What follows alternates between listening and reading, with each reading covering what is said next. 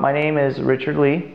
Um, I was in a car accident in December 18th of 2010.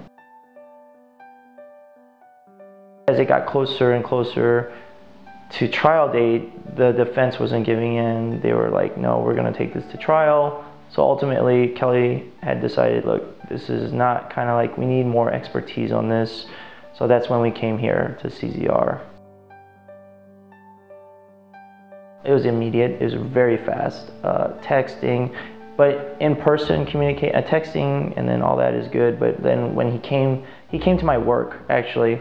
And after I got off, which is um, pretty late because I teach Taekwondo, so I get off, I'm done about 8.30 at night. He came and we spent three hours talking um, easily. And it was very go with the flow type of conversation. It wasn't, it didn't feel like a lawyer client conversation. is more like, oh, tell me about yourself. How old were you when you started this? Oh, that's great. Like very smooth. He like, he wanted to get to know me and my history before he could, he wanted to know even about, I don't think we even talked about the car accident that the first night we met.